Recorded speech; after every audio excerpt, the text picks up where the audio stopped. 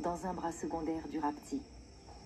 Pour le cornac et son animal, la toilette du soir est un moment privilégié après une longue journée de travail.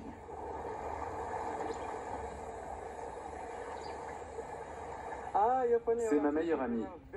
On passe beaucoup de temps rien que tous les deux, assis au Nel Park, entre nous. Je l'aime beaucoup. Le dressage des éléphants est une tradition séculaire au Népal.